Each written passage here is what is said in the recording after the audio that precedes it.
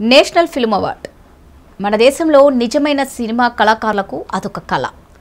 సినిమాను శ్వాసగా ధ్యాసగా బ్రతికే వాళ్ళకు జాతీయ పురస్కారం అనేది గొప్ప అచీవ్మెంట్ తాజాగా ప్రకటించిన అరవై ఎనిమిదవ జాతీయ చలనచిత్ర అవార్డులో ఛత్రపతి శివాజీ సైన్యాధిపతి తానాజీ జీవితకథ ఆధారంగా తెరకెక్కిన తానాజీ సినిమాలో నటనకు గాను అజయ్ దేవ్గన్ ముచ్చటగా మూడోసారి జాతీయ అవార్డు వరించింది.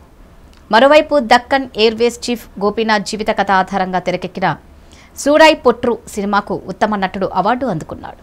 ఇందులో నటనకు గాను సూర్య జాతీయ ఉత్తమ నటుడిగా అవార్డు వరించింది ఇదే సినిమాలో నటనకు అపర్ణ బాలమురళి ఉత్తమ నటిగా జాతీయ అవార్డు అందుకోనుంది.